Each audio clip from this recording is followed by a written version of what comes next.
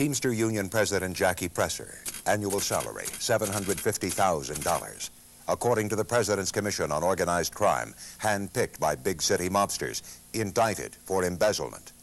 Pled the Fifth Amendment 15 times during commission hearings, which found the Teamsters and three AFL-CIO unions are controlled by organized crime. Yet Presser and other union bosses rake in $10 million in forced dues a year from Idaho alone, from workers who have no choice but to pay up or be fired.